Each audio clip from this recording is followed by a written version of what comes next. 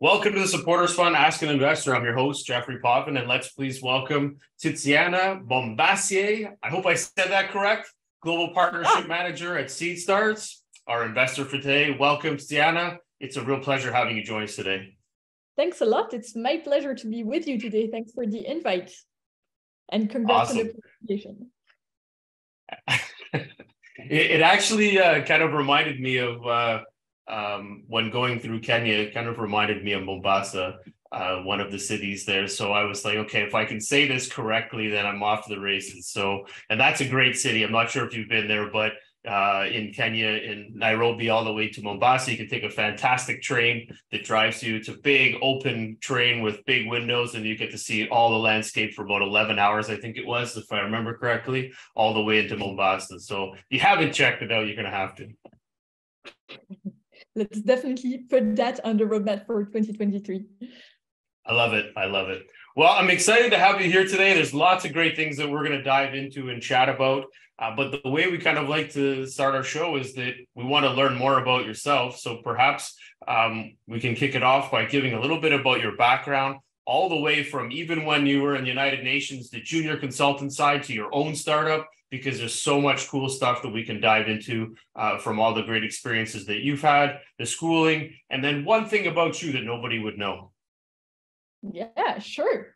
Um, so let me start off by giving you a bit of background about myself. So I am a Belgian Italian uh, citizen for whatever that means, but I've been traveling around for the past 10 years now, a bit more.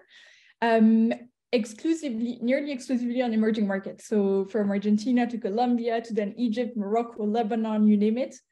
Um, and living in all these places. So I think that's really shaped the person I, I became. Um, and as you mentioned, I started off my journey in a more institutional place than the one I am in today. Um, I started off by studying uh, political science, international relations, um, then a bit of law, a bit of risk analysis, but so much more um, social sciences oriented. And so um, I ended up uh, working for the European Union and the United Nations um, in the Middle East, working on uh, on Middle Eastern and uh, and African topics. Um, so mostly public policy, etc and but at the same time i always had a foot somehow in the entrepreneurial world but back then it was really not clear to me i wasn't really realizing that that entrepreneurial seed was already there right um, but but as you mentioned i had been launching during my studies um, changemakers international which was a a gap year program. So it was pretty much a, a, program hosted by a university in Costa Rica called the UN um, Mandated University for Peace, UPeace. And we had set up that social entrepreneurship um, gap year program for students. Uh, we were mostly targeting students from, um, from the US um, who wanted to spend a year between high school and, um, and university studying, learning a new language, um, being outside of their comfort zone a bit in, in a foreign country. Um, and, and in parallel, the year after, I had also supported a French, this time company, um, launched their spin-off. Um, they were a headhunting company and wanted to essentially not have any waste in the talents that they had spent time with. And so they wanted to redirect the talents that they ended up not working with um, in a close way and redirect them um, through a company. And so they tasked me to launch that company on the French market. Um, these two projects, so the, the, the, the, the one in France is still alive. It's not a high growth company, but it's still a business that's running and that complements the activity. The one in Costa Rica, unfortunately, um, did not make it through because of regulatory hurdles. We were working with people who were um, under 18, um, and that included a bunch of insurances, etc., which we ended up not uh, managing. So that project never, um, never really saw the light we launched it, we tried it, but then it, I mean, it didn't, it didn't quite take off. Um, which is interesting because I'm now again with SeedStars working on other educational projects also in uh, in uh, in emerging markets. We can come to it later. Anyway, so started institutional, always had a foot um, in the entrepreneurial world, and today um, I am fully, I think, in the entrepreneurial slash investors world um, because I joined a company called SeedStars nearly four years ago. Um, and Seedstar is a company that is on a mission to have a positive impact on emerging markets through, on the one hand, entrepreneurship, and on the other hand, tech. And so that essentially uh, means we have activities articulated around two, um, two big axes. The first one is access to capital, so venture capital. And the other one is what we could call education. So either education, um, tertiary education, or education in the sense of capacity building for already existing entrepreneurs. So that's a long intro about myself, but that's pretty much my my background, um, where where I've spent time, what I've been focusing on over um, over the past few years. One thing nobody knows about me um, I turned my pasta in the wrong side, which for an Italian is quite a strange thing to do. Um, it's a, a random fun fact, but that's one thing that nobody knows about me. I turn my pasta the other way around. Try it when you eat, it's super hard to shift the sense. Um, I, I've never, uh, I've never heard that. I, that's, I'm going to try that. That's fascinating. I something nobody knew. That's a, that's the one yep. thing nobody ever asks. That's awesome. I love it. I love it.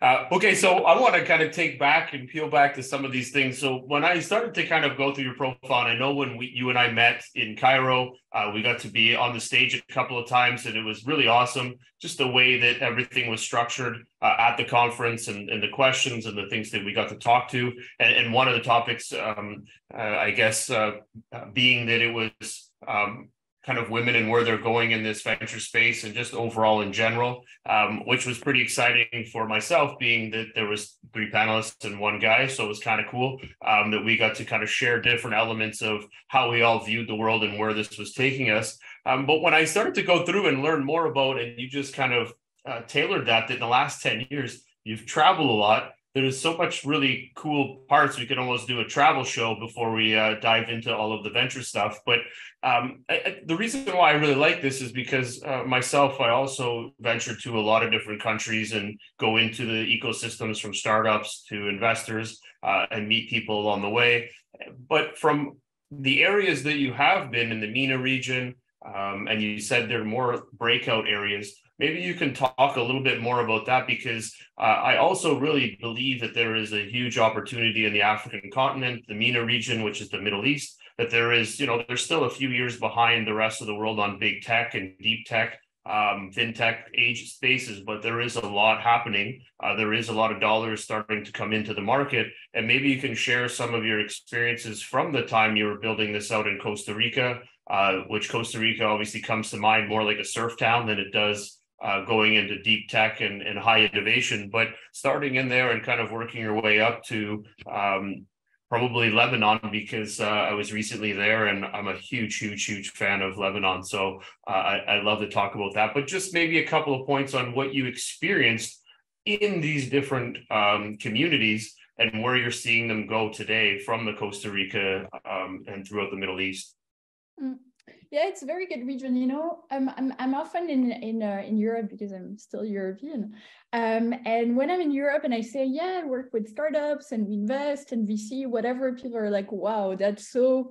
Um, it's so like marketing. It's so shiny. It's so bright. So sexy. Whatever but I don't think people really realize what it means to be launching a business on emerging markets, right? It means opening up your bank account is a nightmare. It means setting up a company is a nightmare. It means finding talent is nearly impossible, etc., etc., etc. So I think the big, um, I think the big learning from all these years of traveling around these regions is setting something up takes double the effort or maybe triple, I don't know. Um, but it takes a lot of effort in comparison to what people think of startups in more um, in more developed economies where um, the infrastructure essentially to set up a company is much easier, where every everything essentially is is uh, is much easier. Um, so, so I think that's one big learning. And the other big learning is if you look at emerging markets today, in every region, there is at least one country that will make its way to the top um, to the to the top countries in the world in terms of world population, right? The demographics of these regions are are huge. They're just immense. So there is an, an increasing need to serve these populations and to meet their demands. So you all of a sudden have this massive, massive, massive demand that you need to serve. And you have very few people that have the ability to actually launch a company or that have the braveness sometimes to to overcome the hurdles of setting up um, a company so i think yeah i think big learning is the courage it takes to to be an entrepreneur in these countries and and the opportunity that is just gigantic. I mean, you you walk in uh, you walk in the streets in Egypt, you walk in the streets um, in some other um, African or, or Latin American, Asian cities, and you're like, wow, how many people can we serve in this market, right? And I think that's really what underlies every single business creation in uh, in these regions.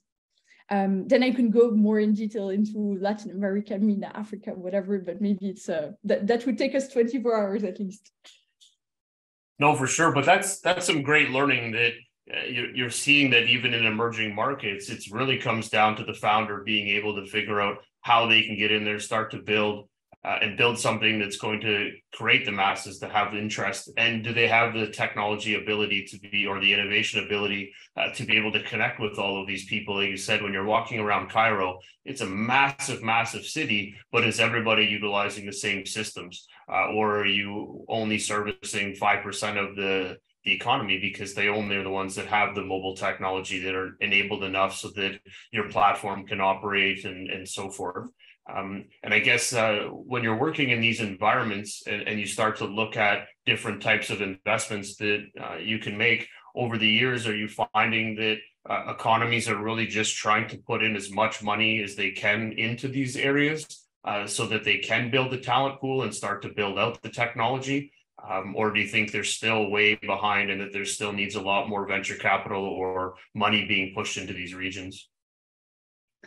Look, it's a very good question. I think um, I think countries are are obviously doing efforts, and and we have seen countries that did great efforts and and that made their way up there. I'm thinking um, I'm thinking of Korea, for example. I mean, these are countries that really exploded all the the records in terms of of going as far as they could in in supporting their population and creating a virtuous economy etc but it's hard. It's hard because in a lot of countries sometimes you don't have the the political elite to do that. In some other countries you don't have the financial means to do that. And and and it's a bit um it, it's a bit the, the snake that bites its own tail right? Like it's a tricky um it's a tricky mechanism. So i definitely think we need the private sector to step up and to also be part of, of that change. And, and for sure, um, startups can play a role in that change. And for sure, venture capital is needed um, to, to play a role. Um, at Seedstars, we really try to focus on high growth companies.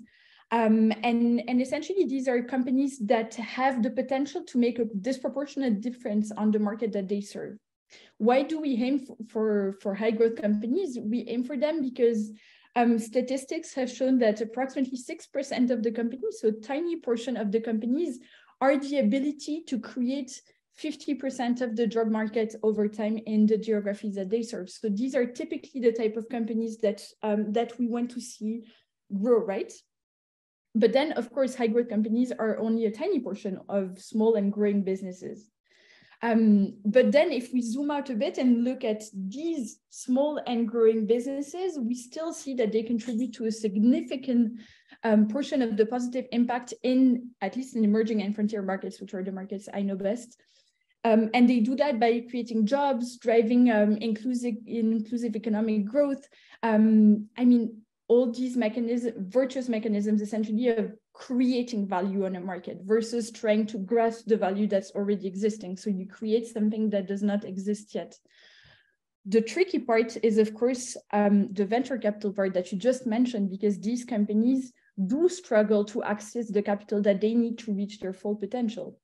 Um, if I'm not mistaken, I think the IMF, the or the IFC, the International Finance Corporation, um, recently published a stat that says that the financing gap for these com companies only, so only if we look at small and growing businesses, we would need an emerging markets 930, I think, um, billion USD. So it's a massive amount, right? The, the financing gap is, is huge. The opportunity is massive. But this company, the missing middle, really needs the support of, uh, of, of capital to come in and of talent pools, etc. And I think, again, this should be an effort, a public-private effort, an effort of governments together with in international institutions, together with the private sector. Um, and definitely VC is a new asset class. It's it's uh, it's tricky to to to be able to call it essentially an asset class and to build it up that way but it's going there and, and i think it's uh, it's definitely great uh, it's a great point that it is going there. I, I think this is becoming uh, a really interesting asset class that probably didn't exist so much 10 years ago for everybody. And today it, it's being sought after by certainly a lot more people when they're diversifying their portfolio to make investments into this category. Um, maybe not so much in the emerging markets like the African continent, etc., because they still kind of have to go through those ebbs and flows of fails and uh, big businesses taking off and other ones uh, not making it. Um, I guess you have to have corrections everywhere. Um, but I think the the main one that you talked about really comes down to is, is the talent pool, and you know. It, I think from a government perspective, they spend their time trying to put money into schools and education so that the talent can grow and they can get into these companies. Um, and then if they can start funding venture capital to start putting money into these businesses as well, then it doesn't become so much metric based on what companies succeed. It also becomes on uh, even if companies fail, that also is a great metric because you've just educated more people. You've brought that talent pool uh, further along. So now the next company, the next company is where you're going to see the most value that comes out of these uh, merging regions. Um, and you know, I think Google put five or six hundred million into uh, Kenya into Nairobi to, to start pushing that market. Uh, you've got um, Nigeria, where they have a massive, massive growth happening within the startup community. Rwanda and a few others where they are a bit smaller and they're starting to kind of break through that space um, and solving uh, problems as well. And I think when you start to look at the landscape in all the countries you've been through, I'm sure there's a few markets that you see that are really getting a lot of exposure. Um, and maybe share a few points on why they're getting exposure. And and um, I can say that today I was having a conversation with um, uh, with a potential uh, new founder, and they're looking at the world and saying, you know, maybe Canada's not the right spot, maybe the US is the right spot. And now you've got all these new digital nomad uh, startup visas that are coming out from Spain, Portugal, Turkey. Everybody's now starting to say, wait a second, maybe we can draw attention and draw capital into our environment if we allow the global exposure to entrepreneurship and get them coming to our country. Even they're doing this in Italy um, in a small region as well, because they're really trying to draw that attention. So I think there's a lot of the world that's changing over the last few years on trying to move people in and generate talent. Um, and, and I think that's obviously a great thing. Few points where uh, you see kind of where that cities or countries that are really diving in and what they're doing right. For sure no, no, I think you're you're completely right. Huh? If we want to continue, just again to tie to tie both conversations, so the, the VC conversation and the talent one, if we look at the amount of VC-backed companies in 2017, um, there were approximately 500 VC-backed companies in emerging markets, and and in 2021, so the numbers of last year, we saw that um, the number had quadrupled. Right, we were at we were at 2,000 uh, VC-backed companies on emerging markets, and you're right. If we want to see that trend growing, if we want to see our survival rate of companies growing, we do need education to be um, to be on point. We do need talents to be on the market, and I think, I mean, there are many there are many trends to piggyback to piggyback on um, in in that vein, right? The first one is having founders that have been VC backed means that we can hope to have um, second time, third time founders very soon, right? We are going to witness that second or third generation in some countries of founders, while other countries are still going to have their first wave of founders, but they're going to have inspiration from the country right next door that has had second time founders. So you create essentially people who are trained to launching companies. Um, so, so I think that's definitely one thing. So learning on the job. Then, of course, you have the, the, um, the schooling system, the education system. How do you make sure that your education system reflects the needs of the market? And, and from the policy perspective, it's really hard to do, right? Because most of the jobs that um, that that the people are going to get once they graduate do not exist yet I mean, the, the technology and, and the society is moving so fast that we cannot foresee. So what do we need to train people on? And if I were a minister of education, I think this would be my biggest question mark. What do I need to train the new generation on? And I think um, I think at Seedstars we've really taken the approach of teaching people how to learn, and it's not so much teaching people how to learn; it's much more giving them an eagerness to learn how to learn. How do you put yourself as an individual in a position where you are gonna learn? Um, and and it's really how we've set up um, the the pace of work over um, over the past year with with a small team working on a on, on new models that would complement ecosystems. Um, and we now launched our first Seedstars Academy in the Ivory Coast. You were mentioning Africa. Um, uh, and, and the plan is to launch uh, our next campus in, uh, in India in Q1. And Seedstars Academy has as an aim to precisely support talents learn how to learn. So the aim is that when the talents graduate, they are able to join a company, launch their own business, but most importantly, they're able to be agile and to go out on their own and figure out the way to do what they want to do. Um, and I think all of this goes is, I mean, all of this is backed by science. Huh? It's it, science has proven that the way we learn, the way that you and I sat down in a classroom, is not the most efficient way to do things. It's not the most opportunistic way to learn. So how do we make sure that edu the educational systems evolve as fast as the market, as our societies? And that's really part of the challenge. And, and so we've taken, uh, we've taken the approach of going with very unique methodologies um, that are methodologies that we're not used to seeing. So now you what we're proposing is not to imagine a classroom with a teacher, with students sitting down, with exams, with grades, etc. Instead, we are envisioning massive spaces with at least 70 to 300 people minimum, um, learning through peer-to-peer -peer methodologies, through gamified um, without getting grades, um, people who essentially want to go through challenges and learn by doing, learn by experimenting, learn by feeling for yourself. Um, and, and I think that's really where education is going towards. We're not going towards more and more diploma. We're going towards micro certification, towards learning and sitting down in a classroom only when we are stuck in our learning path.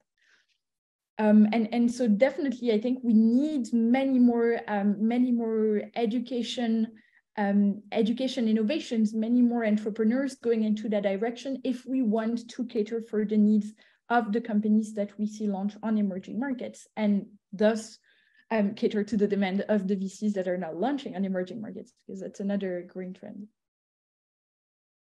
That's awesome. And to take that in a nutshell, it's basically looking at it almost like from a startup lens or an accelerator lens.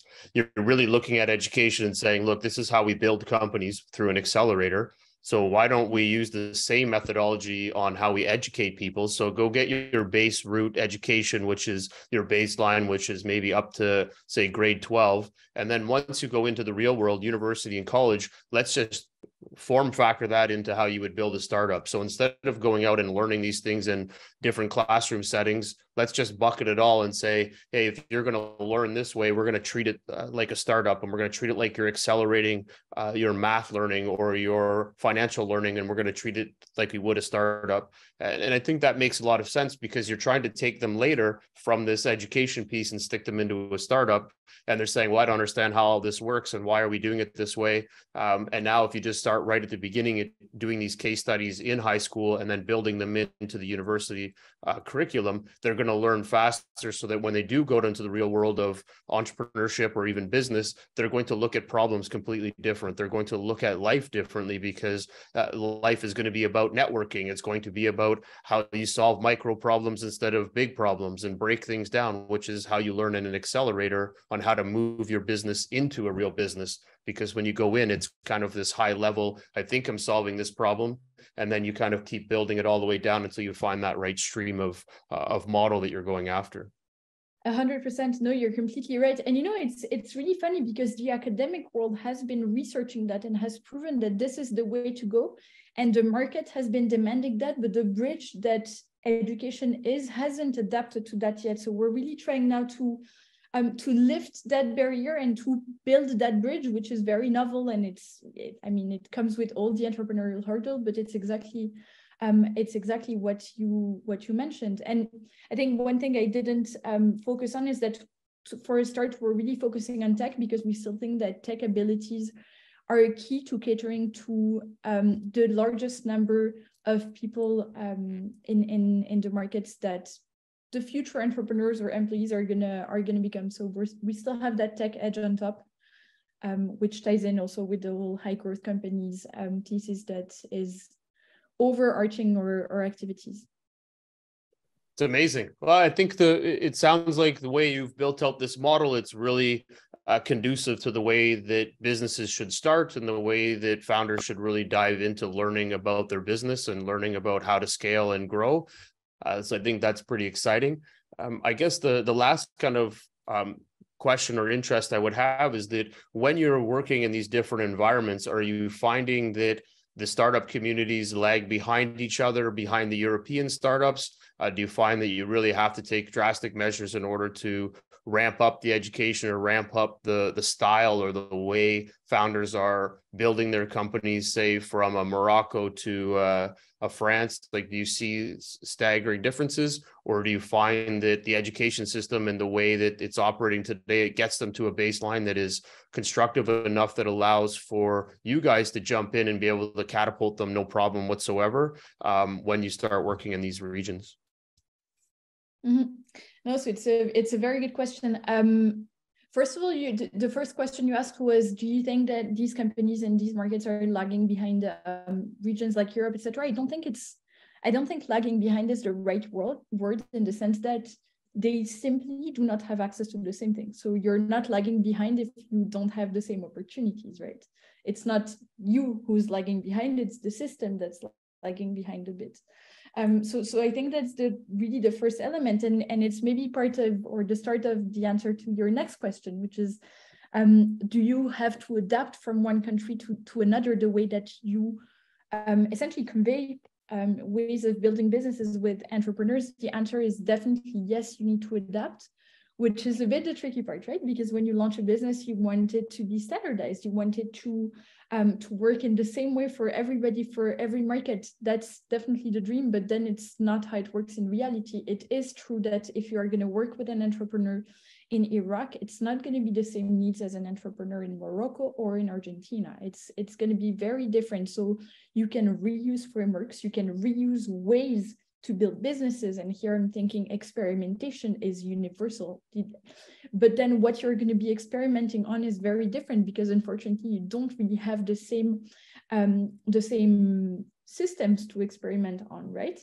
Um, yeah i mean there, there are billions of examples but the, the structure in terms of human capital in terms of access to finance in terms of support systems i'm thinking community i'm thinking investors are very different. Um, you have regulatory um, regulatory hurdles that are also hard to overcome in, in a few countries. I mean, um, I, I, was uh, the other day I was talking to an entrepreneur launching an e-commerce in Iraq precisely, and and the guy tells me, you know, like I'm stuck with my business, like I'm ready to launch, but I'm stuck because um, the bank doesn't have the little box e-commerce to tick when I want to open my bank account. So the guy is just not able to start because the bank is not able to add the box on their drop um, on, on their uh, on their drop menu, right?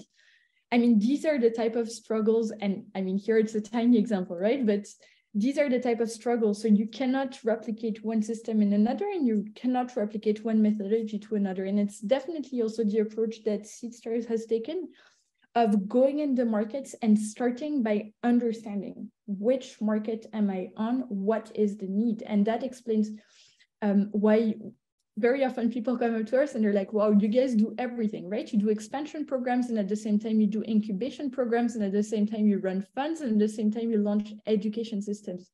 Well, yes, the answer is yes, because the needs are very different. And if we go in a market, it, it doesn't make sense to launch a growth program if all the companies are at incubation stage. And it doesn't make sense to launch the incubation program that you run in Paris if you are launching it in Mali. It just does not make sense. So for sure, it requires a lot of uh, a lot of adaptations, but each time on different um, on different topics. And now for sure in Ivory Coast and in India, we've decided to um, start off with education, tech education, entrepreneurial education, because we see that there is a potential in the market to then quickly join the market, grow companies. In other regions, we've decided that acceleration was the, the right go-to because you had a bunch of incubated companies, but that they were missing that extra step before being able to raise funds, et cetera, et cetera.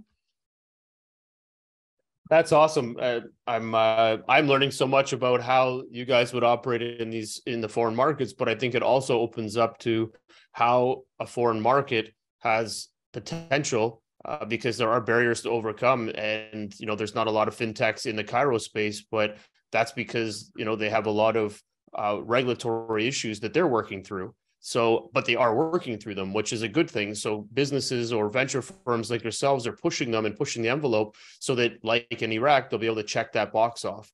Um, just like when I was looking to go to uh, travel into Iran, uh, you can't just go there. You have to do a, I have to be there and uh, handheld by somebody. I have to hire someone to take me around, which again makes no sense. But in time, you'll be able to get a visa at the door, um, or a, a, box on the uh, applying for a visa just going into into India was the same. There was a checkbox that was missing for Canada, which makes uh, very tough to obviously get a visa but these are the little things that make a big difference in a company or a business trying to uh, to create a venture and move forward. So businesses like yours are really enabling this and pushing the envelope to help uh, communities and governments come together and better understand what they're lacking or what they're missing um, while you're ramping up that knowledge base at the same time so that you can get a lot more founders uh, bringing more value to the to the country which is creating jobs resources and dollars and cents uh, through the business or through the country for sure. Yeah, and I, and I think one framework that nicely captures all of that is it, the Isenberg model that essentially breaks down um, the entrepreneurial ecosystem into various elements and then sub factors etc and what we did is um, so we traveled the world a lot with seedstars and meet a lot of companies um, and so with the whole database of thousands and thousands of entrepreneurs, what we've done is we've tried to classify the, um, the markets according to the Isenberg model. It's called SeedStars Index, available online. So if anybody uh, on the podcast is uh, is eager to learn more, don't hesitate to uh, to Google it. That's awesome. I'm going to Google that. Uh, okay, so last question before we uh, transition. Uh, there was a recent announcement within your business uh, within the venture firm. Maybe you can give us a, a quick high level um, on the excitement around that. I think everybody would love to learn more about um, what you guys are looking to do in the future. Yeah, sure. Um, yeah, so you're right. SeedStars announced three weeks ago, I think now, um, the launch of SeedStars Capital, um, which is a platform focused on developing rising managers across em emerging markets. So the idea is pretty much, um, if I simplify it a bit, we want to incubate um, emerging managers in emerging markets because we think that's one of the ways to bring more capital um, to uh, to the emerging VC ecosystems. Um, and and the underlying rationale is really that we believe that early stage investors will be the ones betting on local entrepreneurs. They will be the ones looking at what happens for them at home. Um, and and on top of that, you've met a lot of, uh, of fund managers um, over the course of your career. We also see that there is a need for diversity um, in the in the um, in, in the type of investors that we see in emerging markets, and we see an increasing number. And it's precisely what you hooked me with, right? The first time we met, I remember you told me you were a female, you were working VC. Can I host a podcast with you? Because I do not find female in VC. And, and it's precisely all of these topics um, that we want to tackle. Of course, not only gender based, I mean, it can be a, a billion things, right? But this diversity is important because it is also what is going to um, enable the investors to then invest in, in corresponding companies. Um, and then, of course, we also want to create uh, opportunities for talents and all of that. I mean, all that value chain of the investor investing in an entrepreneur and an entrepreneur investing in talents, etc., is very intimately linked, right? Um, so the, the way that we think of designing um, this, uh, the way that we designed this platform um, is through partnerships. So essentially we partner with managers, fund managers, and we become a part of their fund. So we act as the third GP in the fund if you want. And we provide them um, with the entire resources of the Seed SeedStars ecosystem. So that is access to programs, mentors, experts, um, to the technology platform that we have in-house, to the fund creation facilitation and uh, at the admin process to even deal flow. Um, yeah, and so on top of that, so, the, so, so we can imagine it as a platform, right? You would have SeedStars Capital that hosts um, what we have called the SeedStars Catalyst, which is a fund um, for investors to allocate funds in the managers in the platform. And then that Catalyst funds then goes and um, goes and uh, and supports funds. So we are not a fund of fund. We support the manager. So it's very different in the approach and in the intention that lies behind the project. Um, so yeah, so the, the goal essentially of the SeedStars Capital platform is to channel as much um, as much capital as possible into rising managers. Um, and the scope remains the, the traditional SeedStar scope, so Africa, Latin America, Southeast Asia, the Middle East, and North Africa, as well as Central um, and Eastern Europe. And to give you uh, to give you maybe an overview, so thus far we have uh, we have four funds that are under uh, under the platform. Um, so we have the SeedStars International Venture Fund, which is our or um, or legacy, let's call it, um, fund. Uh, we have SeedStars Africa Ventures that uh, you might have come across during your travels on the Afri African continent. Then we have um, SeedStars Euro Ventures that will focus more on the CEE region. Um, and we have an additional two funds in, uh, in the pipeline, one which will focus on education precisely in uh, Latin America and, uh, and the next one on supply chain. So to all uh, to all emerging uh, to all emerging uh, GPs, please don't hesitate to have a look, be in touch. Um, we're really here to to try and be catalytic catalytic sorry in the in the in the VC space. I love it. I love it. Well, we'll make sure that we do give a shout out uh, to all of the GPs to share with this as well, because I think that's very exciting. Uh, it's a great way to integrate into uh, into these founding um, managers and and help them expand and get into the right regions and, and get into the right opportunities. So very exciting. Well, we're going to transition now into kind of like a case study, I guess. And you know, you've worked with a lot of founders and you've talked with a lot of startups around the world. Is there one founder or startup that, or just generalizing, um, that has really kind of hit home with you that really kind of defines what it takes to be an entrepreneur um, like someone that she or he literally went to bat and you thought oh this is going to work and you know took off like a rocket ship we always like to hear uh, a good story of what it takes if if you have something i'd love to hear and share something that can uh, invigorate the next founder to uh, to get out there and uh, work a little harder yeah for sure um, it's a tricky question. You know, I, I, think I've met thousands of entrepreneurs by now, um, and and it would be hard to handpick one. Um, but but maybe what's interesting is um, if I speak to the entrepreneurial archetype, what I think it takes to be a good entrepreneur, essentially, and I think it takes two crucial things. Um, the first one is your culture of experimentation and to be tolerant towards failure. We've talked about it a bit, and, and around this education discussion that we just had. I think if you are able to experiment, if you are able to learn that your idea sometimes is not the right idea, that the hack you had found for your business sometimes isn't the right hack or is the right hack. But if you learn it by doing, by experimenting, I think it's definitely a win for your company. And failing is fine failing is learning. So why why are we afraid of failing? I mean it's this is also a preconception that we got in school right? Saying you you failed. Well no you didn't fail. You learned that you need to work harder on, on your math exam right? Um so so so this culture of experimentation and tolerance towards failure i think is is critical. Um and the second element is the growth mindset um, if you don't have a growth mindset, I think it's really hard to be entrepreneurial.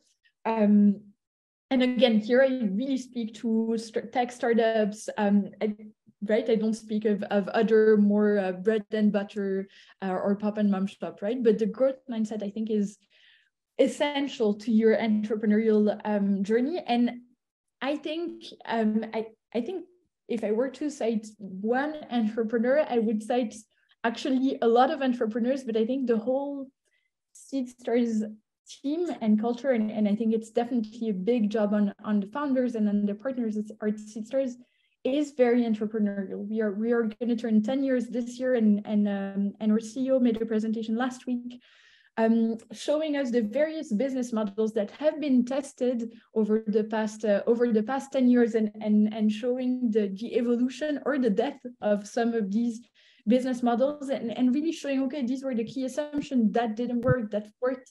And this is why today we are launching capital and we are launching schools. And this is why we, you know, the co-working space, co-working spaces around the globe were maybe not a good idea or, or, or not a, a venture that was meant to succeed. Um, and I think the the reason why I chose these entrepreneurs to and shed light on them today is because the impact they had is immense in the sense that them alone were able to impact so many entrepreneurs by themselves living by these two um, by these two values the growth mindset and the culture of experimentation right? Um, and and that maybe takes us to the third element of your entrepreneurial um, your entrepreneurial archetype, which is try to do good not only for you, but to do good in a way that you're able to have a ripple effect on, on as many people as possible, be it your customers or your beneficiaries in certain cases. Well said. I love it. Those are uh, three great points experimentation, growth, and uh, do good for everybody, not just for yourself. I think that's a, a good mantra to live by. Um, well, we're going to transition now into rapid fire questions. So the way they work is you're coming in as the investor, so you pick one or the other on what you prefer from the business standpoint, meaning as the venture firm, what you choose as being the option uh, A or B is better for for you guys. Cool. Go. All right. Founder or co-founder? co-founder. Unicorn or a four-year 10x exit? Four-year 10x exit. Tech or CPG? Hmm, CAC. NFTs or Web 3.0? That's a tricky one. NFTs. AI or blockchain? Blockchain. First time founder or second, third time founder? third time founder? Uh, first, uh, money in or Series A? First money in. Angel or VC? VC. Board seat or observer? Board seat. Safe or convertible note? Safe. Lead or follow? Follow. Equity or interest payments? equity. Favorite part of investing? Mm, favorite part of investing, the founder. Uh, number of companies invested per year? Uh, 30 to 40, 35 to be half. You're crushing the standards. Uh, per, any preferred terms? Uh, uh, case by case. You've mentioned uh, verticals of focus. Maybe you can reiterate what those would be. Yeah. Um, verticals of focus could be a let's say let's make it simple. Future of commerce uh, financial services um, retail future of health to some extent. Essentially everything that's able to have a, a disproportionate impact on the populations. Okay. And then uh, you mentioned a couple of things that founders need, two qualities a startup needs in order to stand out to you. Founder market fit. Um, and experimentation slash growth mindset. I love it. Okay, we're going to do the personal side now. Book or movie? Book.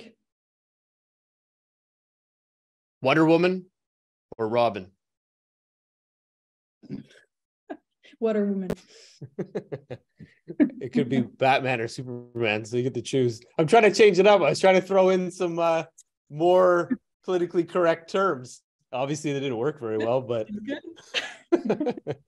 I tried. I tried. Restaurant or picnic? Ah, picnic. Five minutes with Bezos or Oprah? Oprah. Mountain or beach? Uh, both. Mountain. No beach. Beach. Let's say beach. So, uh, bike or run? Bike. Big Mac or chicken McNuggets? Chicken nuggets. Trophy or money? Trophy. Beer or wine? You ask a Belgian Italian, come on, wine. That's true. It, well, there's a mix there, so exactly. it's a tough one. Uh, camera or mobile phone? Mobile phone. Uh, king, queen, or rich? Mm, rich by far, no paparazzi. Concert or amusement park? Concert. Fortune cookie or birthday cake? Mm, birthday cake. TED talk or book reading? TED talk. TikTok or Instagram? Instagram. Facebook or LinkedIn? LinkedIn. Most favorite person that pops in your mind? Oof. Uh, good question. Mm, favorite person? Can I cite like my whole family? Well, you can. You could say favorite or famous too. So uh, you you choose Famous? which one Musk. works best. Musk. Okay. Okay. Favorite movie and character you'd play. Um, that's a tricky one. Favorite movie and the character I'd play.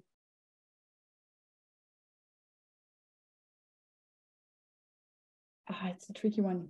Can I say for a book? Favorite book is the next question. You can share that one too. Uh, the girl, the the girl with the bead, um, from telling the story of Vermeeren, and Advi, the protagonist, the girl who paints the famous guy and tries to set him up in the way that, um, that it works nicely for him. And it's called The Girl with the Beat. La fille à la perle in French. Yeah, I think it's Ah, probably that's that. cool. I haven't uh, heard that one, so I like it. Uh, favorite brand that pops into your mind? Patagonia these days. It's a good brand. Mainstream, but you know, Hey, it's still good. It's good. I like it. Favorite sports team? ah, tricky. Uh, favorite sports team? I let's say the Argentinian team because they just won the World Cup. I like it. I, I was actually going to make that suggestion and say, well, it's kind of prevalent. It's at top of mind right now. Exactly. Uh, we're almost there. Uh, what is the meaning of success to you? Learning. I like it. And last question What is your superpower? My superpower. I'm able to sleep for 13 hours in a row. And I think Pretty that's good. really in life. That's a pretty good superpower. I've never heard that one, but it sounds like a pretty good superpower.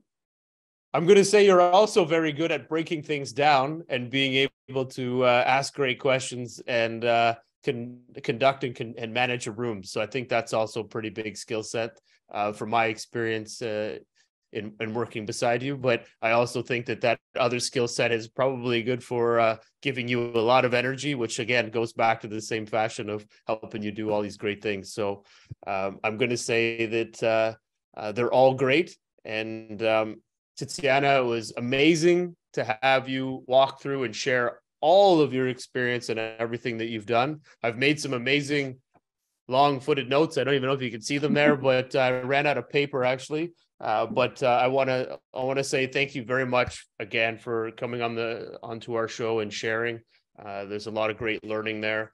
uh, I'm excited and, and find that it's so cool that you've been traveling to all of these countries, uh, gaining all of this background and experience. I think that is phenomenal, and I think it's so helpful uh, in any any fashion in life uh, to be able to build and learn on these different cultures, and especially in the startup ecosystem and the adventure side.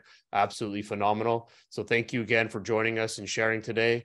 The way we like to end our show is we want to give you the last word. So anything that you want to share to the investor community, to the startups, I turn it over to you. And please also share how people can get a hold of you at the same time. Yeah. First of all, thanks a lot for having me as well. Um, people can have a hold of me on LinkedIn um, Tiziana Francesca Bombassei, don't hesitate. And um, uh, well, I guess the word of the end is really one thing that I try to live by, which is do things because you believe in them, do things by passion, do things because you have the knack to wake up and to and to do them, right? Don't settle for less than what your than what your expectations of yourself are. I love it. Well shared all of these uh, pieces that you've shared are very well uh, stated. Thank you again for all of your time. And uh, we hope to have you back again in the future. But thank you again for sharing. Thanks a lot, Jeffery. Oh, that was great. I, I think uh, Tiziana shared a lot of great insights around what it takes to be a founder in, in many different countries, of course, and uh, the different types of uh, areas where they can get kind of pushback or stuck from regulators to um, you know knowledge transfer and not being able to find the right talent. So there's so much opportunity for governments uh, and business to step up and, and start to put money back in the ecosystem and educate people from universities and colleges and, and help everybody kind of push that envelope and and learn and fail. Um, i really like the the three spots that she talked about which is experimentation growth and the third one which was do good for you know for the world and, and overall. So what's good for you has got to be good for everybody else. So push out the uh, the right metrics and the right value and, and help others grow. Uh, i think overall the the what they're doing um, at SeedStars is fantastic. They're really getting into markets, educating, growing, pushing the limits, and, and helping markets open up further and quicker. And that brings in a lot more venture uh, and a lot more investors. So it's very exciting to see. Um, exciting about their uh, their new launch. Um, the press release that came out. So another great um, pinnacle for their ten years. Uh, so kudos to to everybody over at SeedStars. Um, and um, thank you again for joining us today. Uh, if you've enjoyed this conversation, please feel free to share with your friends or subscribe to our YouTube channel. Follow us on Spotify, Apple Podcasts, and or Stitcher. Feel free to share an audio or video clip around our show, and we may include it in one of our feature podcasts. Find us at marketing at openpeoplenetwork.com. Your support and comments are truly appreciated. You can also check us out at supportersfund.com or for startup events, visit openpeoplenetwork.com. Thank you and have a fantastic day.